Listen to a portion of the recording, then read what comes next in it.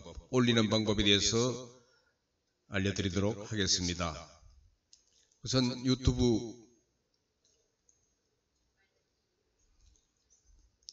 화면을 이렇게 찾아 들어갑니다. 들어가면은 이미 계정이 만들어져 있다면 우측 상단에 본인의 계정이 이렇게 뜨게 되어 있습니다. 본인의 계정을 이렇게 눌러보면은 여기에 뭐 내 채널, 유료 멤버십, 유튜브, 스튜디오, 계정 전환, 로그 아웃, 그리고 여기 세 번째 보면은 유튜브 스튜디오가 있습니다. 여기서 유튜브를 수정한다든가 어, 삭제할 때 필요합니다.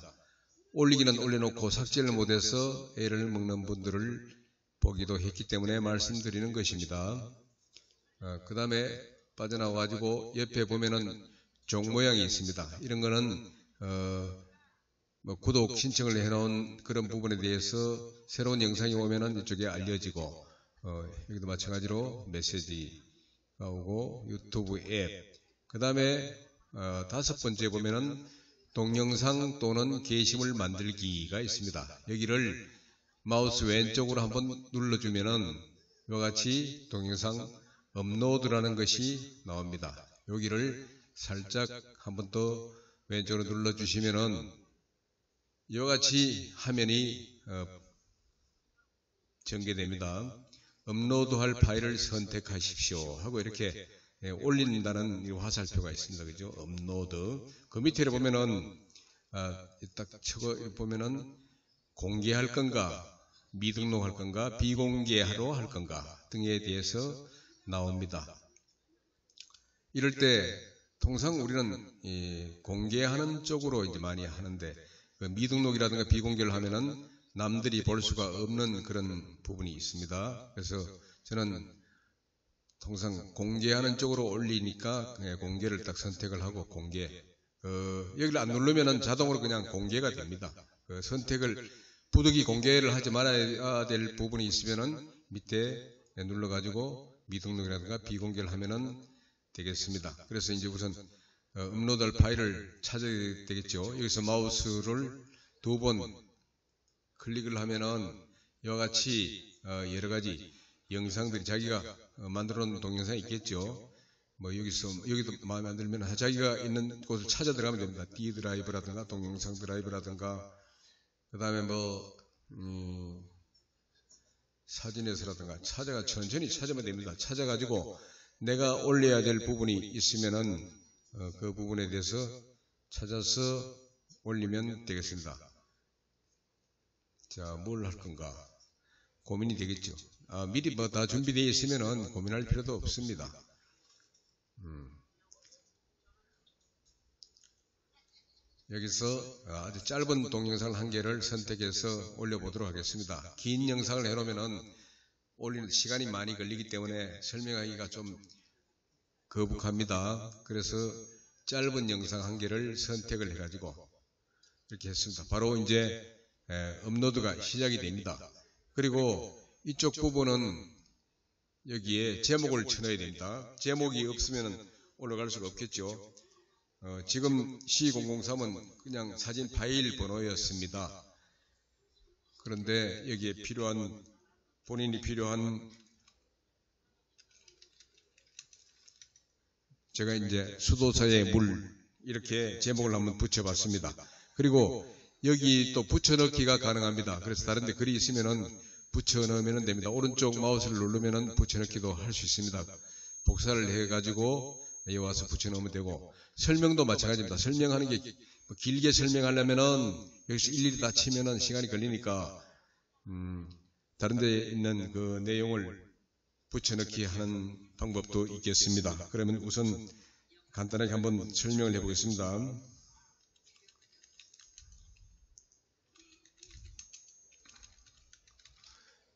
그냥 이렇게 수도사의 물은 맑아요라고 이제 쳤, 습니다 이미 영상이 다 올라 게시가 되어 있습니다. 그죠? 처리가 완료되고 어, 빨리 게시하시오 아직 게시는 안 되어 있습니다. 그죠? 올라가지는 않았습니다. 지금까지 스탠바이는 다 됐습니다. 다 만들어져 있습니다. 근데 이게 이제 표지로 나가겠죠. 표지로 나가는데 이 표지가 마음에 안 든다 그러면 쭉 올라보면은 하나, 둘, 세 개 중에서 하나 선택을 하면 됩니다.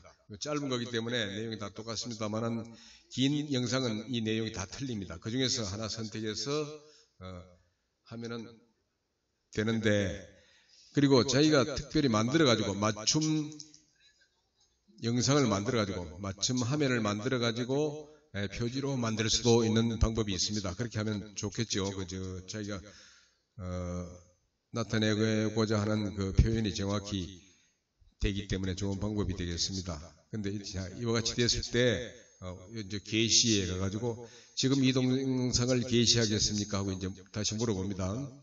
어, 그러면 왼쪽 마우스를 딱 누르면은 게시가 됩니다 이제 음, 게시가 되었습니다. 음. 게시가 된 부분에 대해서 혹시 수정 모드로 가야 될다 되겠다 싶으면 다시 요 누르면은 수정이 가능합니다.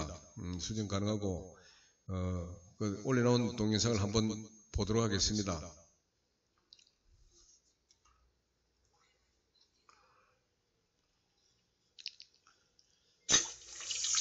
이와 같이 이제 올라갔습니다. 전체 화면으로 골라내는 전체 화면으로 보고 여기에 이제 자기가 올렸으니까 어, 뭐 좋아요 한 개 표시해 놓으면 좋겠죠.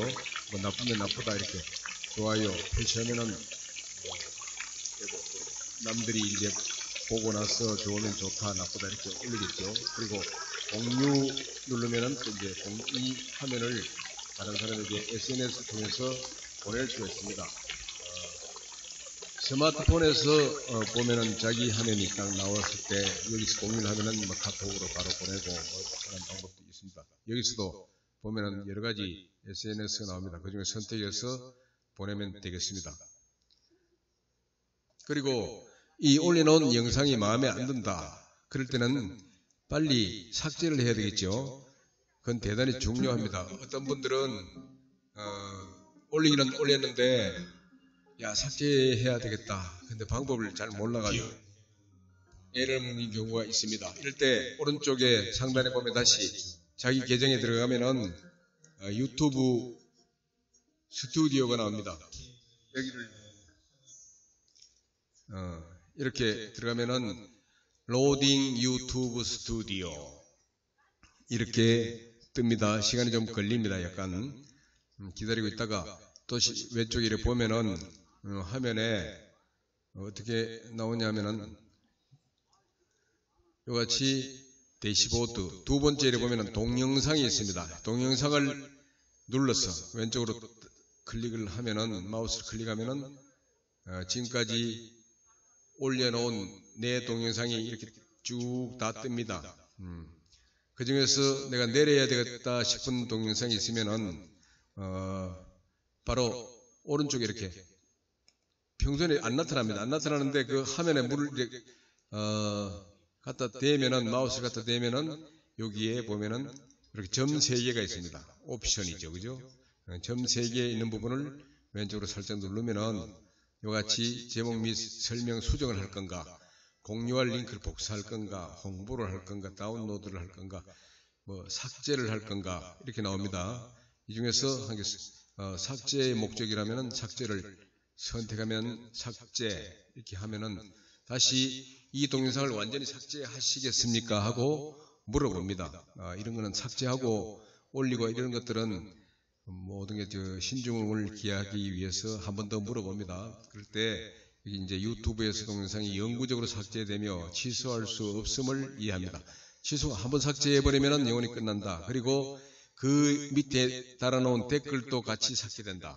뭐 어떤 경우에는 댓글이 나빠서 어, 삭제하는 수도 있겠죠. 여기서 선택을 하고 동영상을 동영상 삭제 이렇게 눌러주면은 이 영상이 삭제됩니다. 삭제됐죠. 음, 이렇게 이렇게 해서 어, 동영상을 올리는 것부터 내리는 것까지 다 말씀드렸습니다.